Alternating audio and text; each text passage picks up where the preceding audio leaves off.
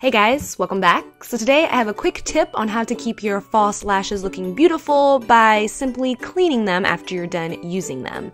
So a few things that you're going to need are just a pair of tweezers, a toothbrush, some rubbing alcohol, a few q-tips, and of course your false lashes. So to start, the main thing is you're going to want to remove all the glue along the band. This just make your lashes unwearable because it kind of just clumps up on your lash. You can see I have some glitter attached to it.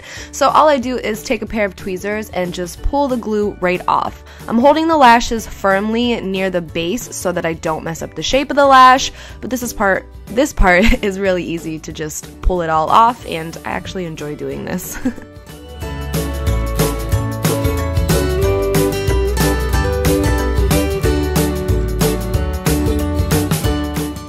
after you've removed all the glue from the band, you can see they're already looking much better. So the next thing is to remove all the mascara from the lash because this makes it clumpy and just look like you've been wearing them for way too long.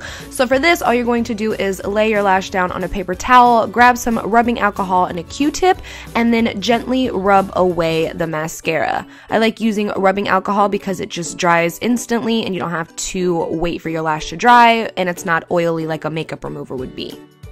I like to go through my lashes about once a week and give them a good cleaning, just so that I don't have a ton of lashes to clean uh, at the end of the month. Um, but this is great, especially for mink lashes, so that you can go ahead and get your wear out of them since they are a more expensive lash.